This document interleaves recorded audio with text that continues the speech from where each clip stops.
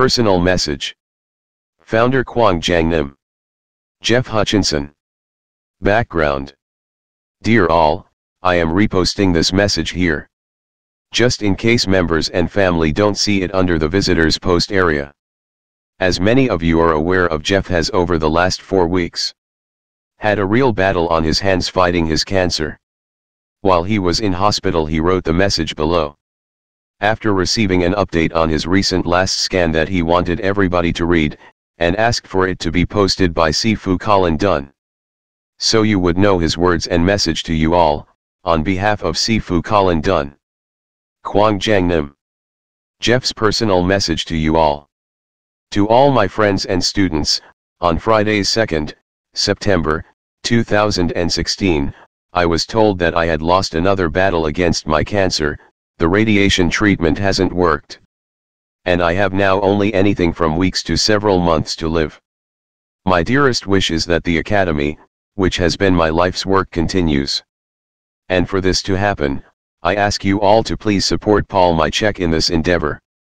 Let it be known clearly that it is my wish and decision that he is the successor for the school.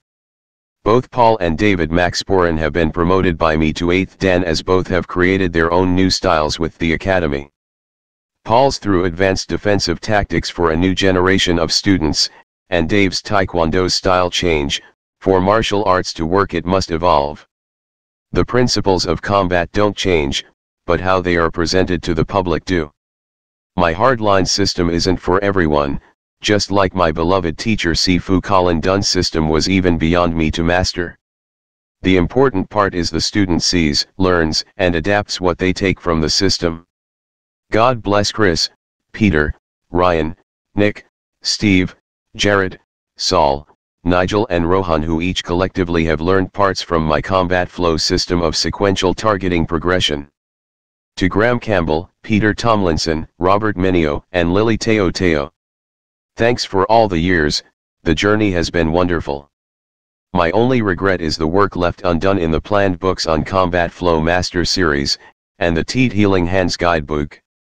All my love to those who have been on the Teat journey and also, especially to Mickey, Trish, Kylie and Elena, and to the thousands of students over 38 years of teaching. Thank you. Yours Kwan Jangnim, Geoff Hutchinson.